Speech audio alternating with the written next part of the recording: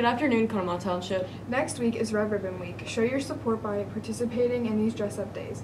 Monday, drugs are not funny, but Adam Sandler is. Dress like Adam Sandler. Tuesday, voting for my future, USA Day. Wednesday, lay off drugs, Hawaiian Day. Thursday, choose anything but drugs, anything but a backpack day. And Friday, scare away drugs, wear your Halloween costume. There will be an open gym for boys basketball on Saturday from 10:30 to 11:45 in the high school gym. The life skills classes are hosting a sock donation drive to benefit the Women's Help Center and St. Vincent de Paul. They serve people in our community who are in need and experiencing homelessness. Socks can be dropped off in the bin outside of Mrs. Cobb's room starting Friday until November 17th. Winter sports signups are now posted on the windows of the main office. This includes boys and girls junior high and varsity basketball, junior high and varsity cheerleading, junior high and varsity wrestling, mat maids, and varsity rifle. In what may have been one of their best games this season, the boys varsity soccer defeated Ligonier Valley by a score of 10 to 2 in Ligonier on Wednesday night. Jackson Satowski played goalie and then scored three goals. Freshman Rocco Hagan added two goals.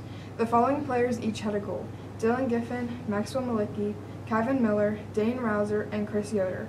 Malicki, Satowski, and Yoder each had two assists in the game. This was a total team effort and a positive step as the Indians await their playoff opponent next Thursday at home. This was a total team effort and a positive step as the Indians await their playoff opponent next Thursday at home. The team ended their regular season with a 16 1 1 record. We need your support for this playoff game starting next Thursday. Come out and support both your great girls and boys soccer teams as they compete in the D5 Single A soccer playoffs. Our Lady Indian soccer team defeated Ligonier Valley with a whopping score of 7 0. The team will travel to Berlin for a game today at 4 p.m. Yes, ladies. Girls volleyball will travel to Cambria Heights. Junior high is at 4, JV at 6, and varsity at 7. Junior high girls and boys soccer is home tonight against Westmont with girls competing at 4 and boys competing at 5:15. Let's go Indians. Our junior high football team will be away at Cambria Heights tonight. Bring home another win, boys.